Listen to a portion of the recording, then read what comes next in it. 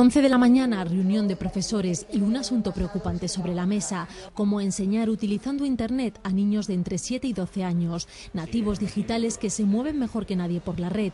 Lo primero, dicen, controlar desde el colegio el acceso a las redes sociales. Nos traen muchos problemas. Eh, los alumnos cuelgan ahí toda su vida, su vida íntima, su vida personal. En muchas ocasiones eh, genera esto problemas porque eh, también incluye mm, comentarios, tú me has insultado tú me has dicho, y esa problemática se traslada al colegio.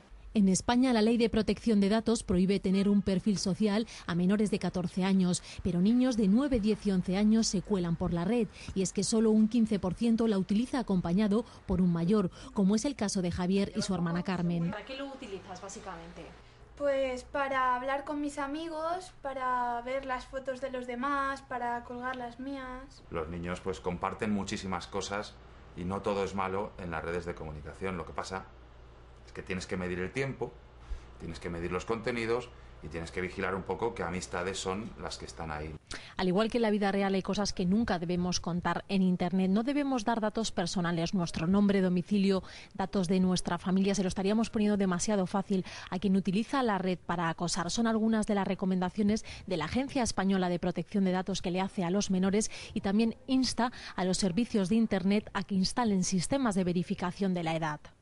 Las redes sociales deben desarrollar tecnologías que permitan también, de una forma automatizada, eh, evitar el acceso de menores de 14 años.